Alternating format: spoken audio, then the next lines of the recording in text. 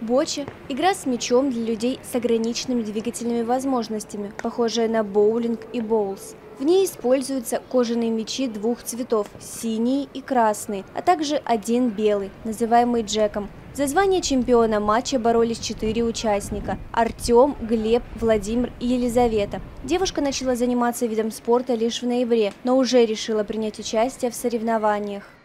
Решила попробовать что-то новое, потому что этим видом я никогда не занималась. Он э, просто требует как бы собранности, внимания. Но для меня он э, достаточно простой, так как это делается э, руками, а не балансировкой равновесия. В России боча развивается как массовый спорт. На курорте занятия проходят три раза в неделю. Популярность вид спорта в Сочи получил давно, более 10 лет назад. С этого времени турниры проводятся ежегодно. По итогам состязаний был определен победитель – Глеб Широков, которого наградили памятным кубком. Это 20 наверное.